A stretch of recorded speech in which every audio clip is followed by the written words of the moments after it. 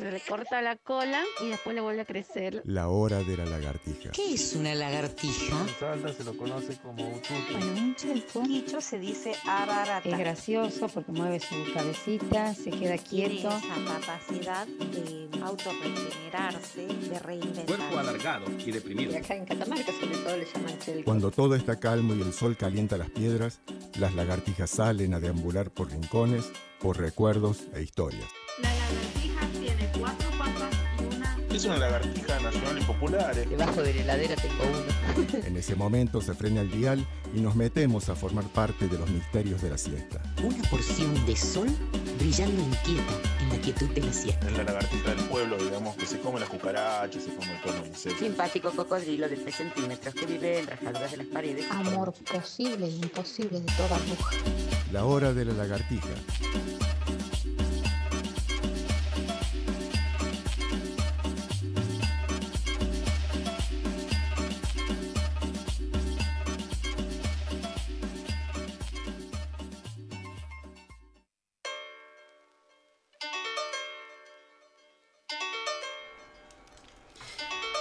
Hola, buenas tardes. Eh, en esta nueva edición del programa La Hora de la Lagartija, eh, bueno, saludamos a nuestra audiencia de Radio Nacional Catamarca, saludamos acá a Kitty, a Roberto, a nuestro operador Julio.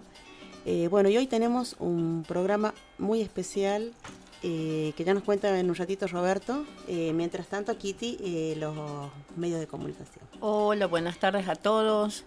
Eh, una vez más, recordarles nuestros medios de comunicación. Nos encuentran como La Hora de la Lagartija en Facebook, Spotify, en YouTube. Este, y bueno, para los amigos ya saben dónde nos encuentran. Siempre estamos en el mismo lugar, así que ya saben y no hemos cambiado el número de teléfono. Para el resto, ahí en las redes sociales siempre nos encuentran lagartijeando. Eh, bien, y sí, como decía Rita, eh, un programa muy especial porque, bueno, hoy se conmemora el Día Nacional de la Memoria por la Justicia. Y, eh, bueno, vamos a, recordar un poco qué es lo que, que pasó. Digamos, un 24 de marzo de 1976 los comandantes de las tres armas, Jorge Rafael Videla, Emilio Macera y Orlando Agosti, derrocan en la madrugada al gobierno constitucional de María Estela Martínez de Perón, quien había asumido la presidencia tras la muerte del general Perón.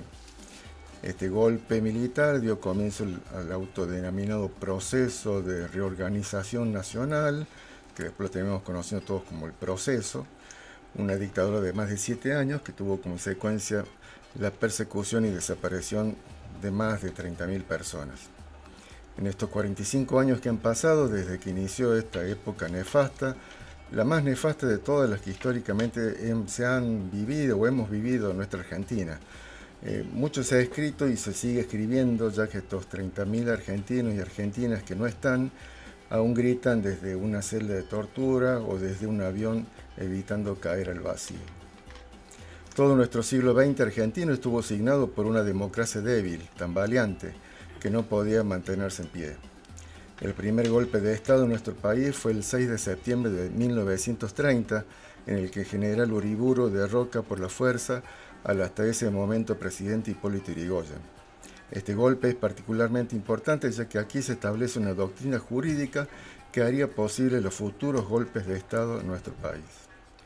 Muchos nos quejamos hoy de la justicia y de la necesidad de una reforma que no solo agilice los fallos, sino que también genere garantías de imparcialidad desde ese indispensable poder del Estado.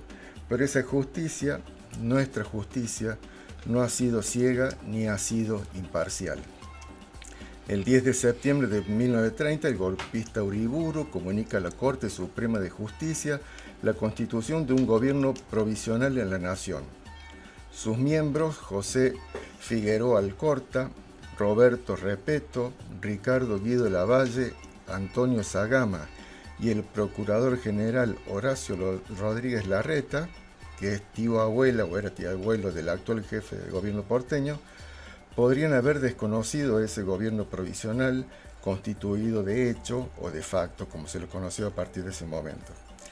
De haberlo hecho, tal gobierno dictatorial y todos los que vinieron después no podrían haber existido, ya que de haberlo considerado ilegítimo, como en verdad lo era, la totalidad de sus actos de gobierno carecerían de lo que se llama continuidad jurídica y cesarían apenas cayera la fuerza que lo sostenía. Pero no fue así y comenzaba de esa manera la llamada década infame.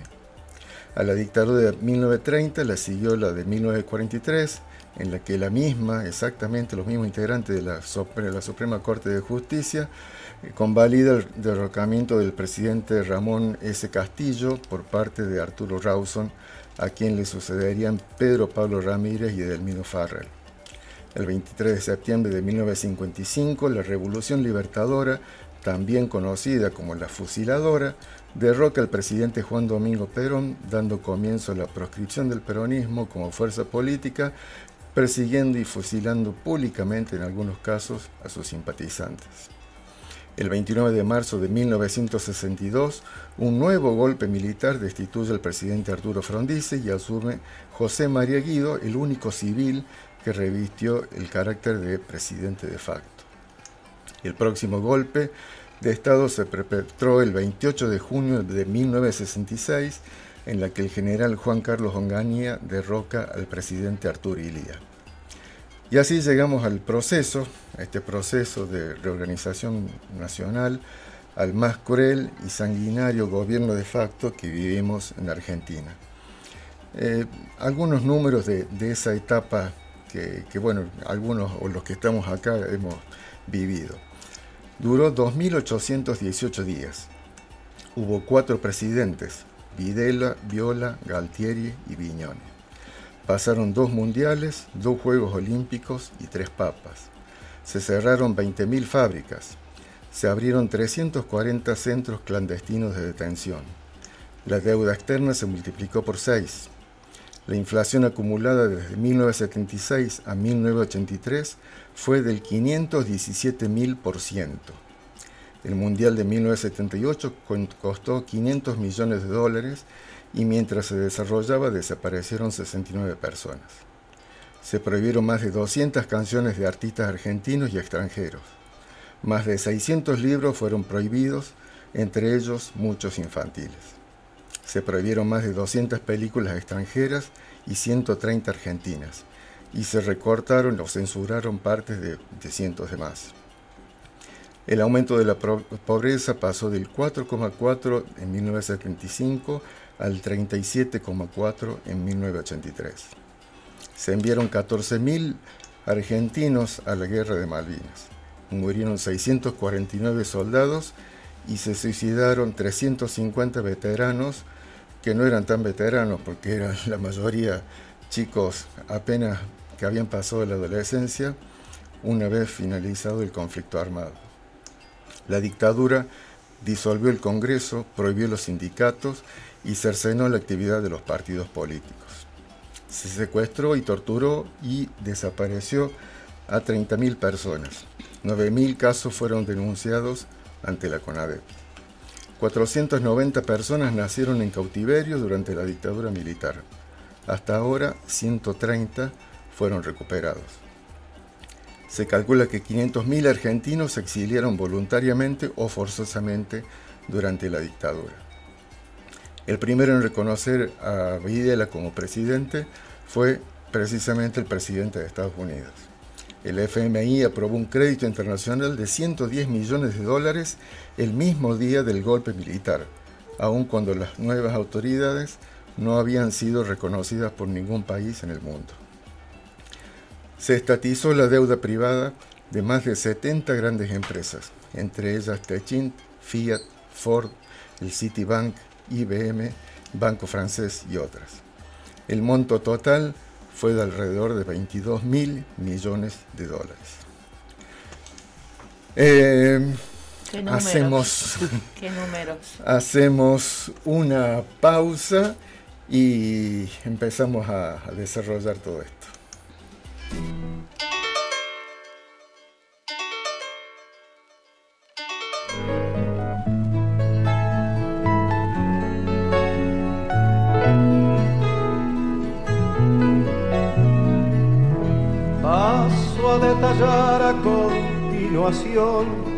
El sucinto informe que usted demandó.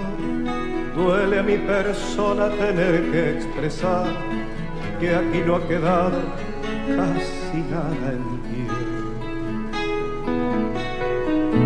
Mas no desespere, le quiero aclarar que aunque el daño es grave, bien pudiera ser podamos salvar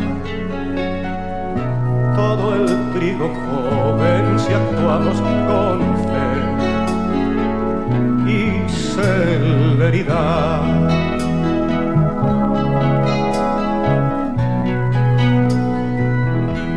Parece ser que el temporal trajo también la calamidad de cierto tipo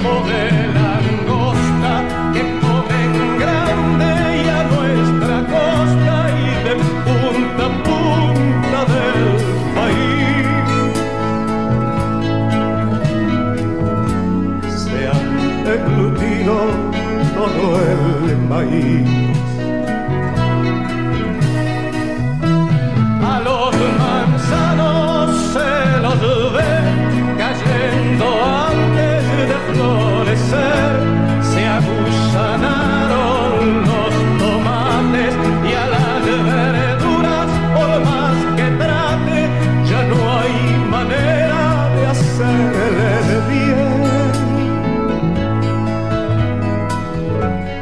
no sé qué hacer, ni tengo con quién. La gente duda en empezar la tarea dura de cosechar. Lo poco que queda se va a perder si como le dije no ponemos fe y celeridad.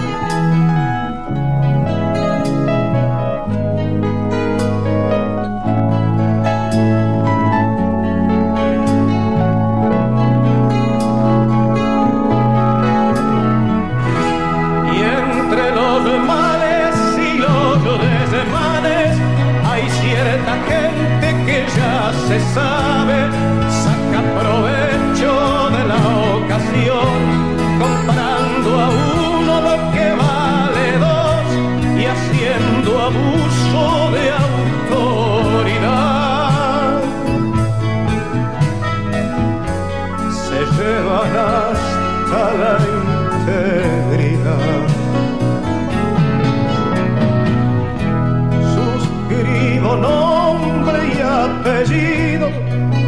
y ruego a usted tome partido para intentar una solución que bien podría ser la unión de los que aún estamos vivos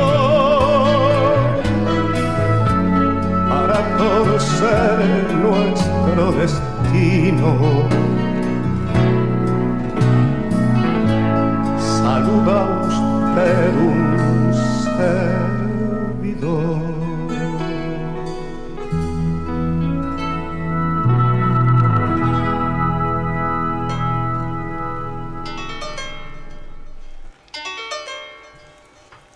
Volvimos, volvimos, aquí estamos.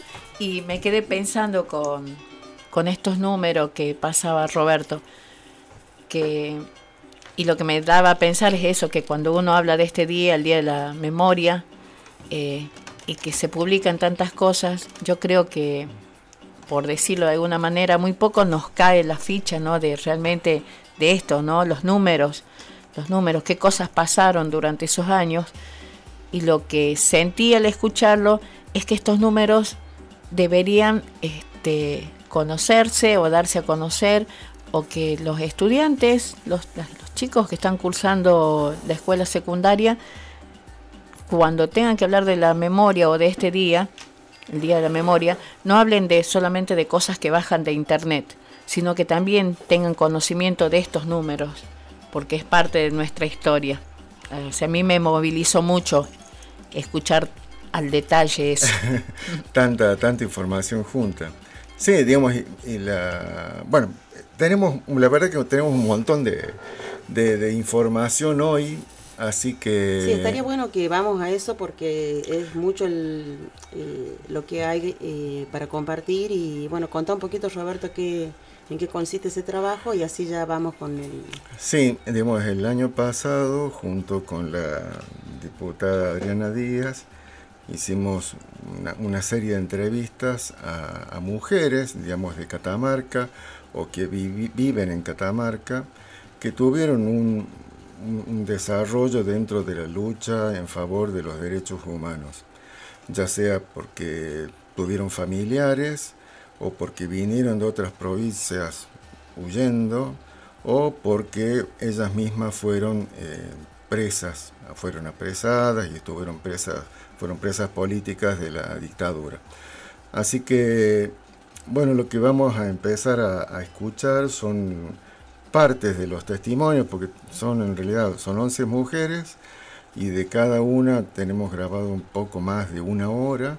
Así que lo que vamos a escuchar son fragmentitos de todo ese material, eh, intentando armar una especie, digamos, de, historia o, de historia local, reconstruir nuestra memoria de la dictadura en Catamarca, que, que tiene sus particularidades y sobre todo, digamos, que no fue lo que en general se habla, que fue una isla, que aquí no pasó nada, que, que no hubo desaparecidos en Catamarca, cuando, bueno, vamos a ir viendo que, no ha sido así.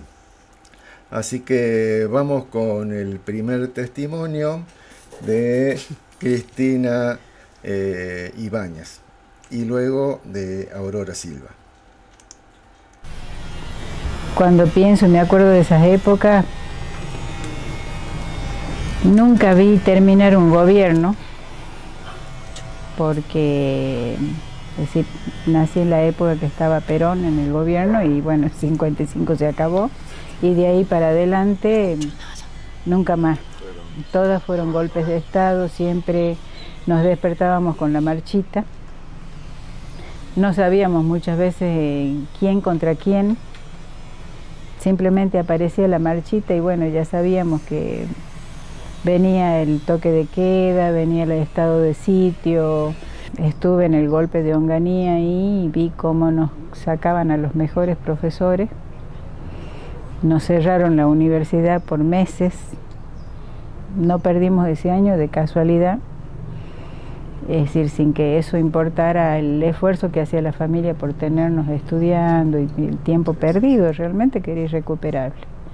Tucumán además pasaba una situación muy especial que empezó con la época de Onganía, que fue el cierre de los ingenios veíamos miseria, veíamos explotación, nosotros que íbamos de Catamarca, veíamos los ranchitos de Maloja a lo largo de toda la ruta y las condiciones prácticamente de esclavitud con que trabajaban los empleados rurales, los peones, y que además era zafral porque terminaba la cosecha de la caña y hasta luego, ¿no?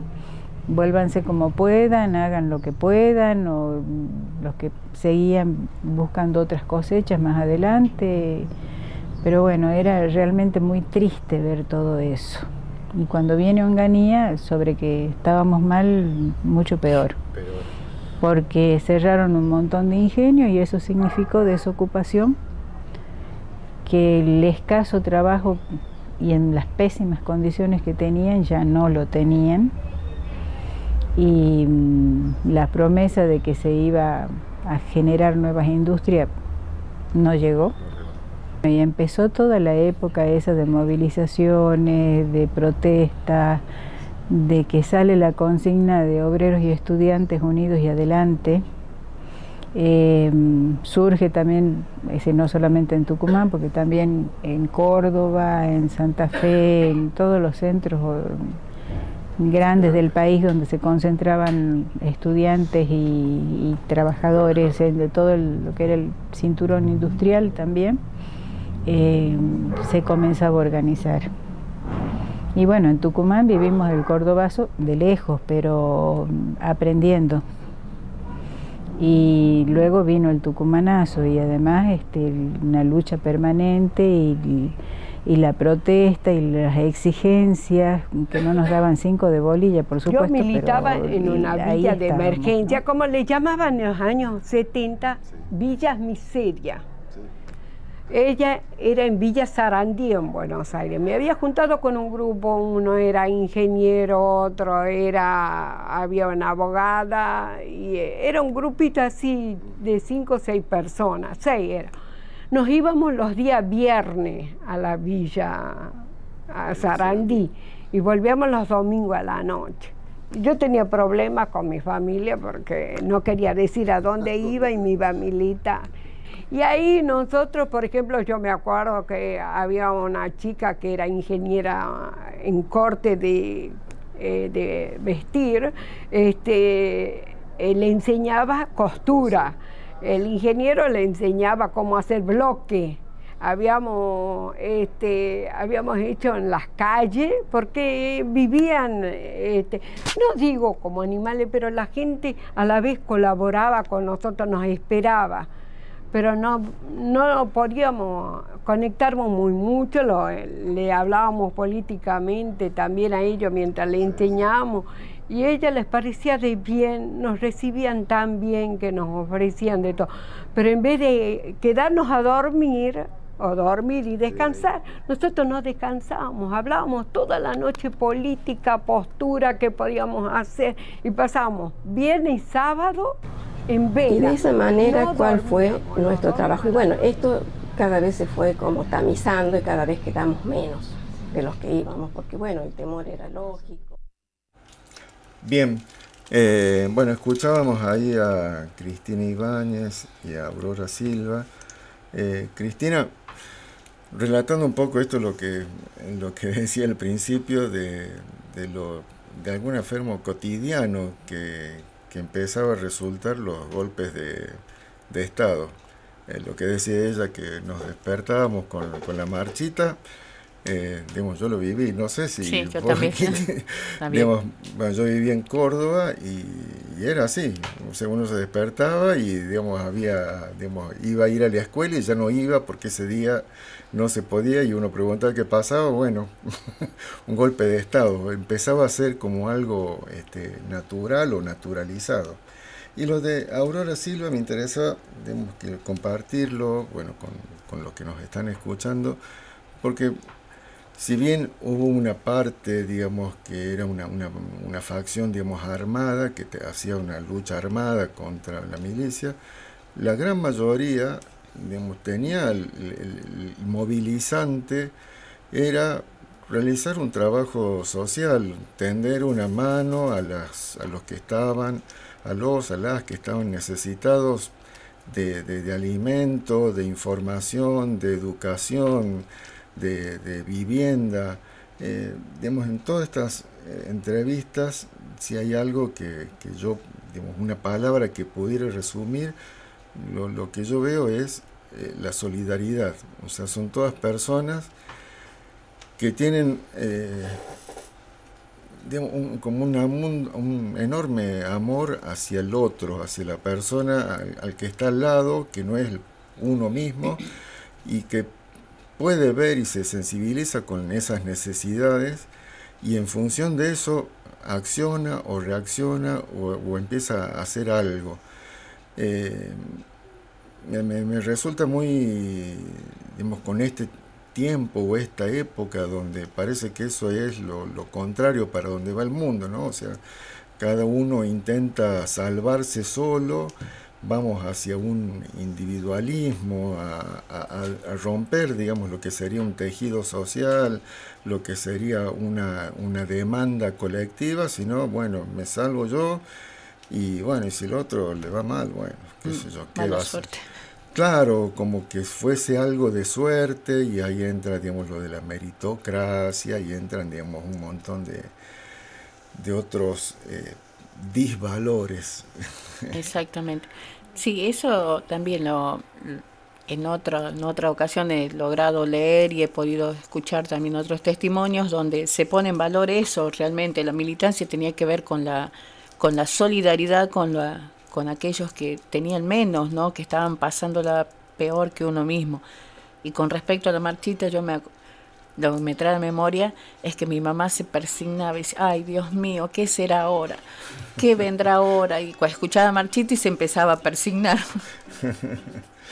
Eh, vamos con, vamos desandando, digamos, esta historia y vamos a un testimonio o dos testimonios que tienen que ver con un hecho que, eh, que fue, digamos, antes de la dictadura, pero que sirvió para dar de pie, eh, para dar pie, digamos, a, a, todo lo que sería, digamos, el terrorismo de Estado.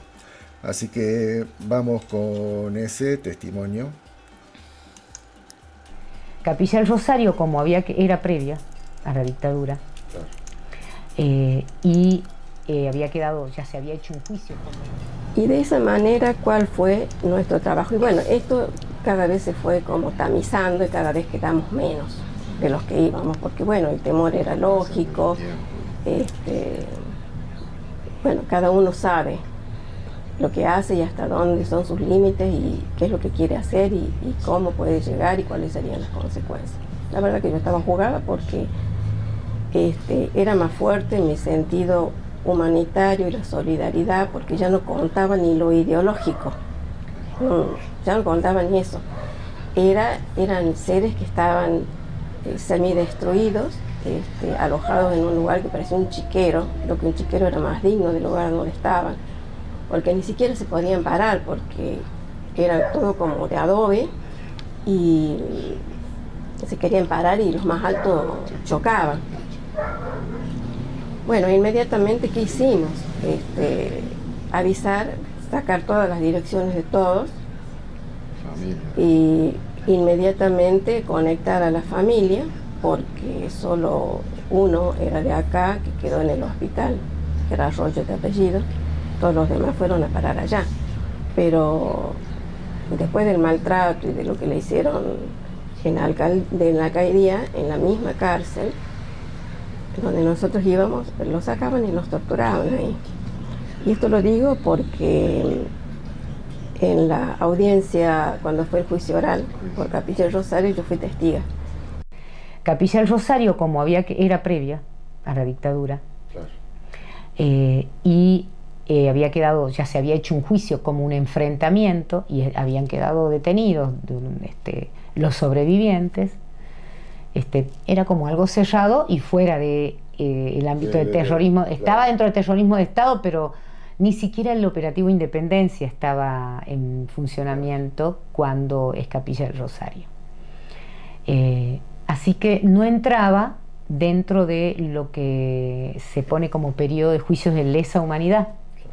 Es un hecho muy simbólico a nivel nacional porque cuando nosotros empezamos a ver y a, a, a, recopilar todo para la causa, vemos que es cuando se da la primera orden de exterminio. ¿Mm? Hasta entonces había, eh, se apresaba, se tomaba prisioneros y ahí se, se da, llega la orden de exterminio, que después y aniquilación, ¿sí? exterminio y aniquilación. Entonces, por una, eh, eso es como el primer antecedente de lo que después es el operativo Independencia, que es la antesala del, de, la, de, la, dictadura. Entonces, eh, un lugar donde el imaginario estaba puesto en que acá no pasó nada, de que esto era una isla porque Catamarca es tranquila, empieza a desmoronarse, a desmontarse una memoria impuesta. Una memoria impuesta desde distintos lugares, medios de comunicación, poder político, qué sé yo, sí, sí, edu educación, eh, la misma iglesia, eh, impone una memoria eh, que tapa y que en la, en la gente hace mella si aparte de cuando de, de, lo que te pasa y vos después volvés a una sociedad donde sigue siendo eso un tema tabú, un tema vergonzante, un tema que te deja en, en un lugar fuera de, de lo, de, lo, de, del, de, lo que la sociedad acepta, fuera de lo establecido, fuera de lo que, de las normas, ¿sí? marcado, tabú. Entonces empieza como otra vez un, una, te revictimiza, ¿sí? Genera toda una cuestión hacia las generaciones eh, que, eh, más jóvenes. ¿eh?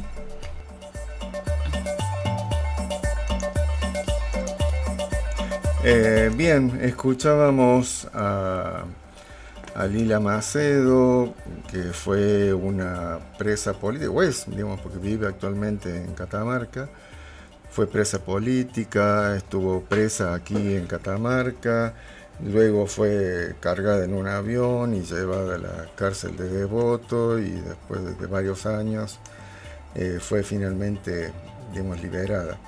Y Ana Radowski es la representante del, Organismo de Derechos Humanos de Nación aquí en Catamarca y lo que escuchábamos es lo que tiene que ver con lo que se llama la masacre de Capilla del Rosario, que es un hecho en el que se, se, matan, se asesinan a 16 guerrilleros de la compañía de Monte, Ramón Rosa Jiménez, eh, que tenían una edad entre 18 y 22 años, y que este hecho fue en, en agosto de 1974, o sea, dos años antes de, que empezara el, golpe militar. Y lo que hablaba Ana eh, tiene que ver con eh, el, significado digamos, de lo que fue Capilla del Rosario, es que bueno, ahí se dan estas órdenes de, aniquilamiento, de exterminio. O sea, ya no era solamente capturar a los, los llamados subversivos, los extremistas, sino que el objetivo era, digamos, asesinarlos. No había capturas, no había eh, detenciones, había muertos. Eh, y eso tiene que ver con también otros decretos que ya se dan durante la presidencia de, María Estela Martínez de Perón, que son unos eh, decretos también digamos, de aniquilamiento previos a los del 76. Vamos a una pausa. país de los siempre presentes. Palabras en el Valle. 24 de marzo, Día Nacional de la Memoria, la Verdad y la Justicia. El 24 de julio de 2014, Sara Luján declaró en la mega causa La Perla, Campo de la Ribera. Sara fue una de las fundadoras de familias desaparecidas y detenidos por razones políticas en Córdoba tarea que comenzó apenas recuperó su libertad, ya que mientras estaba presa había sido secuestrado su hijo, Raúl Mateo Molina Luján, que permanece desaparecido. Ella fue secuestrada el 24 de marzo de 1976. Pasó por el campo de la Ribera, la cárcel de mujeres El Buen Pastor y luego fue blanqueada en la UPI, cárcel de barrio San Martín. Radio de nuestras historias. Coca, como es conocida por todos, con sus 88 años, asombró con sus testimonios, recordando todo lo que vivió durante su cautiverio. Brindó información precisa sobre sus compañeras. Dice ella, a pesar de los años y las penurias que cargo sobre mis hombros, tengo fuerzas, muchas fuerzas. ¿Y saben en qué la estoy usando? para continuar en Catamarca lo que comencé en Córdoba después de mi libertad y el secuestro de mi hijo. Luchar con las únicas armas que tenía, las del coraje, la fuerza del amor, la impotencia, la desesperación y la búsqueda de justicia. De justicia, de justicia, de justicia. Sara Coca Luján, de su libro Encontrar a nuestros hijos, testimonios de una madre. Catamarca. Nacional las cosas que nos unen.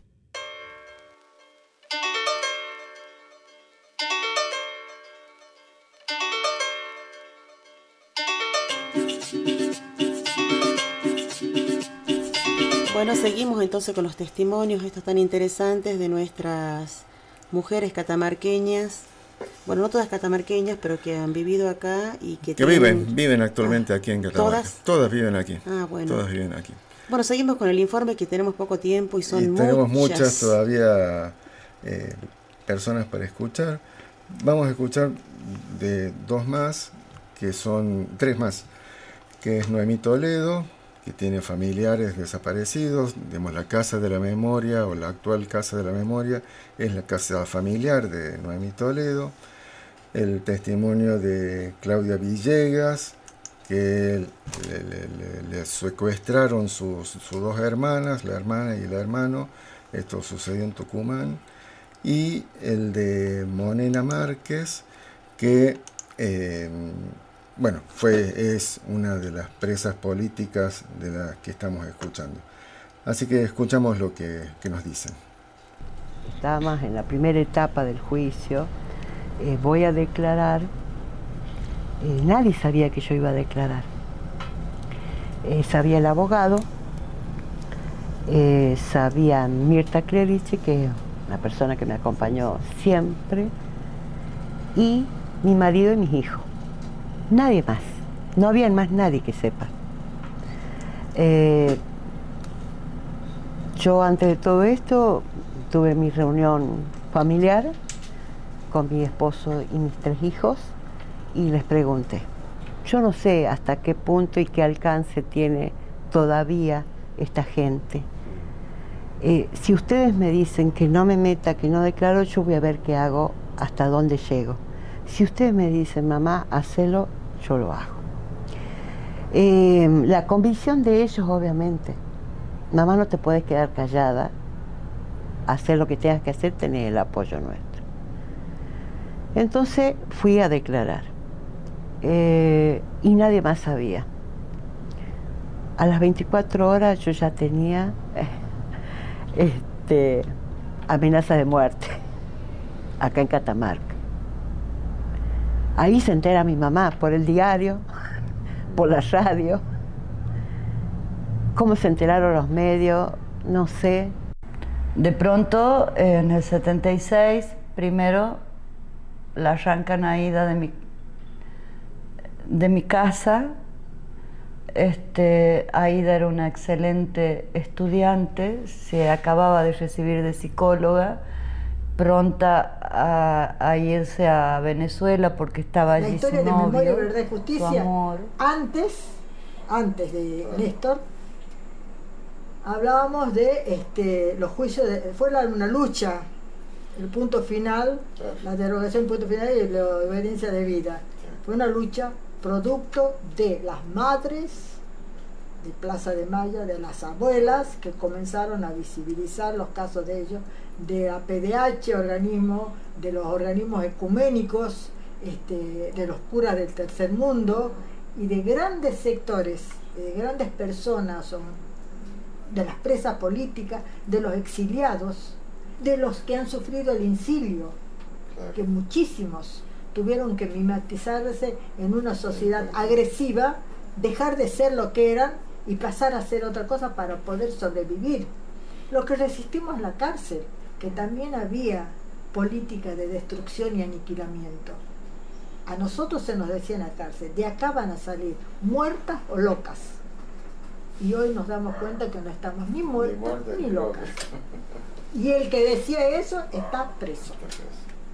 Este, pero ellos tenían dentro de las fuerzas de, dentro de las cárceles tenían política de aniquilamiento la misma política que tenían de afuera de la la delación romper la solidaridad e incentivar el individualismo ofrecer hostigar cerrar ajustar trabajar sobre las debilidades de las personas y este, buscar la delación.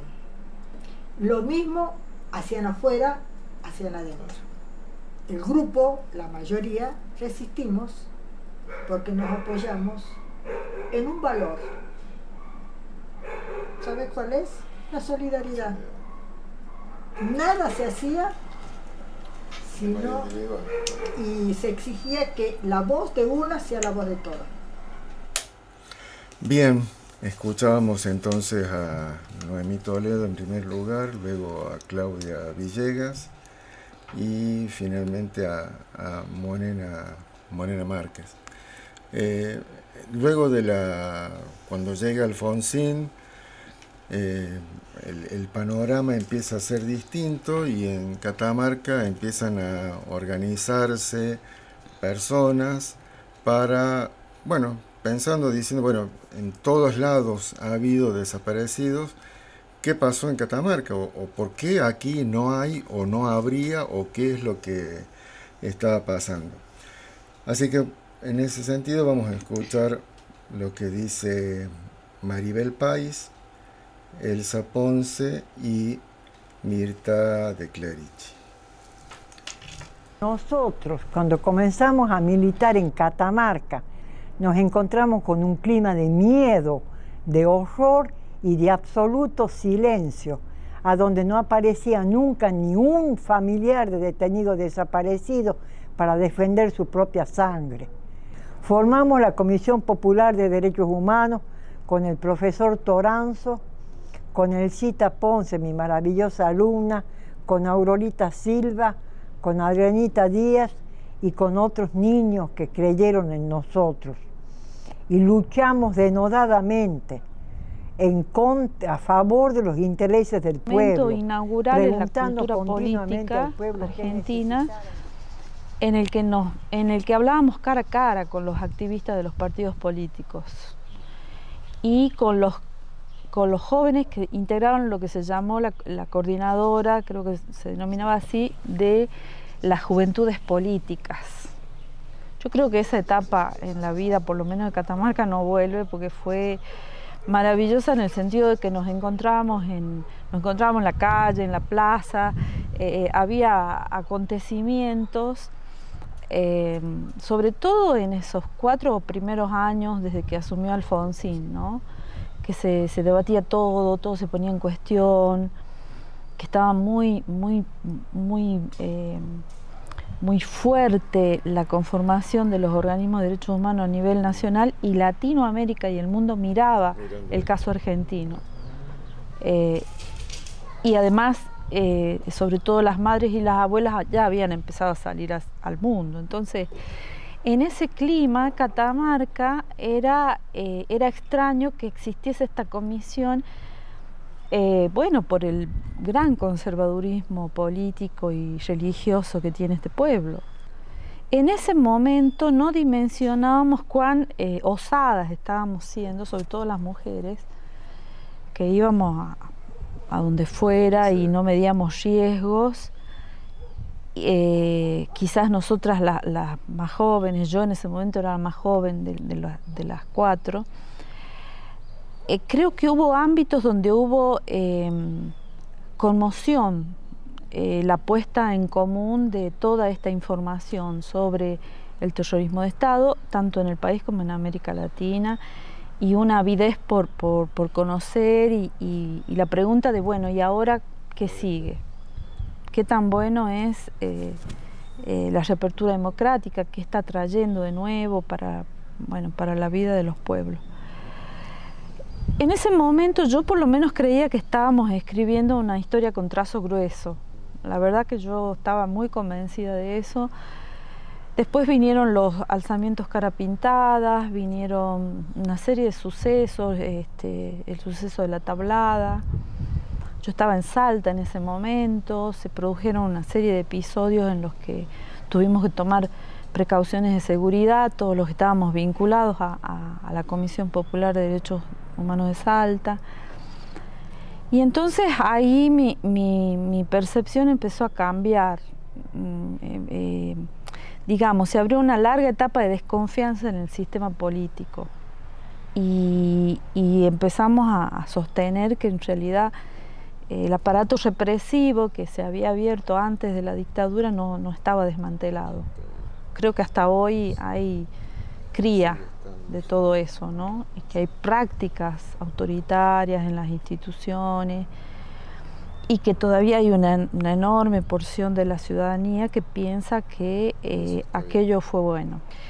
De todos modos, reivindico que tanto desde Catamarca como desde el país hemos eh, con muchas, con muchos, con muchas eh, deliberaciones y contradicciones internas en las organizaciones y en el Estado, creo que somos eh, un caso emblemático.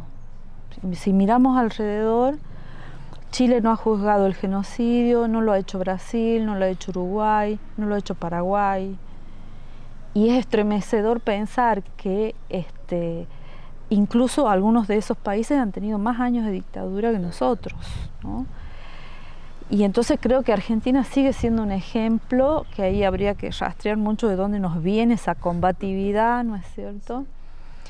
Y eso a mí mm, sí me hace sentir orgullosa de haber formado parte de ese momento de, de la historia local, que como vos decías hace rato, tal vez ignorada por muchos. Por supuesto que fuimos maltratados, eh, faltaron los medios, digamos, que, este, que criticaban, que juzgaban, este, bueno, que era una especie de, terrorismo light el que hacíamos defendiendo a los este, Lo que te iba a decir acá, por ejemplo, en el ochenta y pico, no se hablaba de los desaparecidos a mí me parece que a mí se me prendió la lucecita, ¿viste? Yo teniendo tantos familiares desaparecidos no entendía cómo era posible que no, se hablase los desaparecidos. Así que hicimos una movida bastante, éramos muy poquitas. Creo que éramos, a ver, Maribel, Maribel Pais, sí, sí. Elsa Ponce, y yo. Creo no olvidarme ni que empezamos a mover ese avispero, ¿no? De averiguar quién es Porque no podíamos creer que no Es decir, claro, no podíamos creer que no nos hubiesen denunciado. Te das cuenta que la familia no se hubiese hecho cargo. Y, y hubo gente a quien logramos convencer de que denuncien y otros que no conseguimos así de hablarlos personalmente y después de haber pasado tantos años lo conseguimos que lo denunciase. Poner en la cabeza del catamarqueño que el catamarqueño tenía desaparecido. Costó bastante, pero se hizo. Después llegado a los juicios, más. Ya se afianzó un poco más todo. Pero este, yo veo que después se olvida, hay una memoria tan, tan frágil, mira, tan frágil se me ha olvidado de tantas cosas. Los catamarqueños, yo creo que de los juicios ya se han olvidado tanto. Excepto los que hayan sido afectados directamente. Pero así como hecho social, no se habla en ningún lado, ni los medios, para qué te voy a decir. Bien, eh, Testimonios, ¿no? Algunos llaman a la reflexión, a mí me ponen a pensar. ¿Dónde estaba yo? ¿Qué estaba haciendo en esos años, ¿no? Que también era adolescente. Sí, sí, bueno, no sé.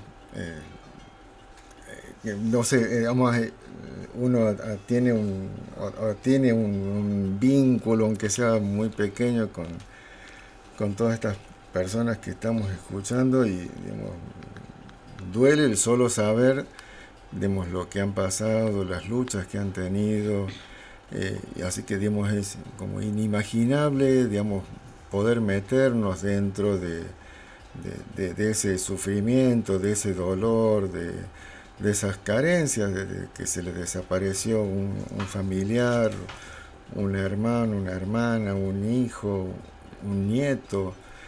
Eh, y, cómo, cómo, cómo, seguir, cómo seguir adelante, cómo, cómo seguir con la vida y, rearmarse.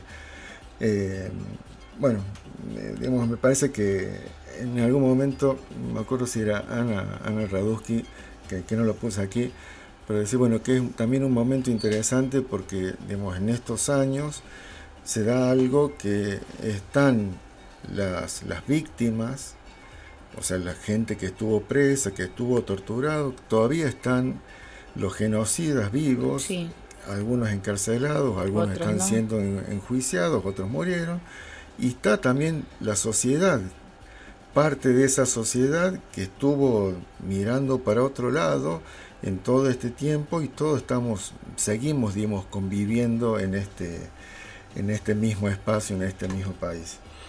Eh, vamos con la última parte, como para empezar a, irnos. Eh, Noemí Toledo, Coca Luján, que hace un rato escuchábamos algo de ella, y eh, Mirta, Lila Macedo y Cristina Bañas, que hacen un cierre, algo que me, gusta por, cómo lo han dicho. Vamos con, con esas. Y yo creo que todo eso me dio más fuerza. Me dio más fuerza para pelear, para luchar, para seguir, para continuar. Eh, para continuar, que se sepa lo que pasó en Catamarca. Porque ya no era solo mi familia, mis tres desaparecidos, mis tres familiares desaparecidos. Eh, son hoy en día 58 catamarqueños según la investigación que nosotros realizamos. Al 2020, pongámosle en marzo 2020, nosotros cerramos con un número de 58 desaparecidos. Entonces, eh, esa investigación la fuimos realizando también, eh, por lo que lleva esto. es una herida que, ha dejado una cicatriz muy grande. No, no cierra, no cierra porque vos si vos no podés hacer un, este, hacer un, este, ¿cómo se llama? Consolarte, eh, si vos no, no, sabes, no sabes ni a dónde tenés el cuerpo, ni a dónde está. Y la gente joven le interesa, se interesa, te preguntan, te preguntan muchas cosas que vos pensás que, que, que no se van a interesar y no es así son como una esponja que quieren absorber. Entonces hay que aprovechar esa. Yo que te puedo decir que los derechos humanos los tenemos en las venas como la sangre. Solito nos vino y, seguirá con nosotros. Seguirá ya cuando nos saquen con los pies adelante, como dicen. Pero eso no, no se tranza, con eso no se tranza no se cambia. Esto viene no solamente con los desaparecidos, sino antes. ¿no? La lucha por la igualdad social ya es derecho.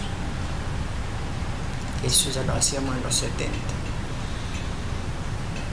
Y como siempre digo, duele, duele, recordar duele mucho y, eso es algo de que este, lo vas a llevar toda la vida, no se supera jamás, es como una herida. Se vos lo veis, te acordás.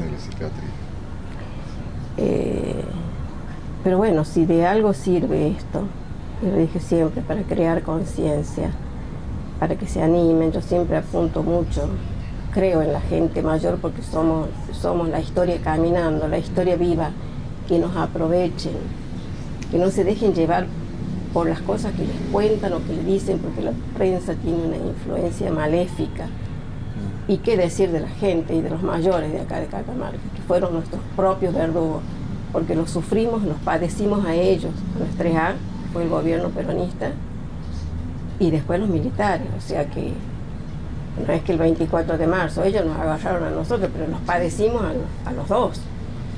O sea, pero los militares no hicieron otra cosa más que continuar, con la actividad que, que ya venían creo en, creo en la transformación, en el hombre nuevo por el que trabajamos y luchamos y entregamos a algunos su vida, otros todo lo que nos tocó pasar, porque sigo creyendo en el, hombre, el hombre nuevo, todavía tiene que nacer ese hombre nuevo. pero para eso hay que trabajar. no lo trae la cigüeña ni viene en un paquete, hay que trabajar. Este, hay que comprometerse, hay que tener convicciones. No, no, no, no, saquemos lo ideológico, lo político. Claro, la vida es un servicio para los demás. este, y Todo eso a mí me sirve para pensar de que el cambio es posible. Es decir, que podemos aspirar a otro tipo de, de sociedad, a otro tipo de vinculación, a otro tipo de proyecto económico, político y social. Si no es una utopía. que por supuesto que hay que ponerle alma, vida y corazón porque el, el, enemigo nunca duerme, siempre está ahí al acecho y la prueba está que hoy Centroamérica es otra vez un, un conflicto, ¿no? Sí, pasó en Bolivia. O lo que pasó en Bolivia, por supuesto. Uruguay, sí, sí, sí, sí, es toda América Latina. Bien, eh, de ninguna manera pretendemos agotar todo lo que es, eh, lo que representa este día o lo que se intenta recordar este día, sino, bueno, más una especie de, homenaje o de reconocimiento a, bueno, a estas mujeres de las que hemos estado escuchando y a todos los que de alguna manera han padecido la dictadura y han tenido una militancia y una, una defensa de los derechos humanos y algo que lo siguen continuando hasta hoy. Bueno, sí, eh, agradecer a estas mujeres luchadoras que han puesto el cuerpo, el alma y lo siguen poniendo. Eh, nos despedimos porque ya estamos eh, sobre la hora. Un chivo último, a todas estas mujeres, el día ah. martes 30 se les va a hacer un reconocimiento en el Urbano Girardi por cuestiones de, la pandemia es imposible estar presentes, pero se va a transmitir a través de las redes sociales. a las 19 A partir de las 19 o sea, que podemos acompañar desde ahí. Exacto. Bueno, eh, bueno, nos quedaron los temas musicales, pero bueno, era mucha materia. Vamos con un pedacito del último. bueno, gracias, gracias a nuestro operador, a Julio. Eh, gracias. gracias. Hasta el próximo miércoles en la hora de la lagartija, de 13 a 14 horas por Radio Nacional. Gracias. Cuando no recordamos lo que nos pasa, nos puede suceder la misma cosa. Son esas mismas cosas que nos marginan, nos matan la memoria, nos queman las ideas, nos quitan las palabras. Ah, si la historia la escriben los que ganan, eso quiere decir que hay otra historia, la verdadera historia. Quien quiera oír, que oiga.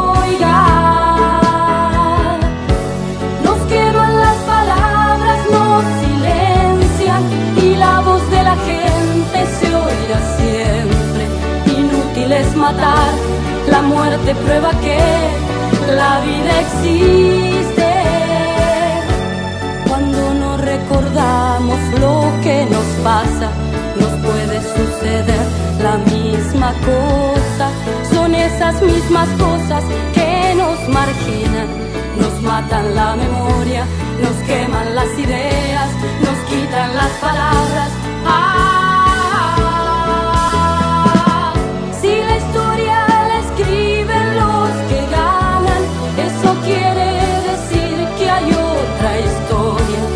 verdadera historia.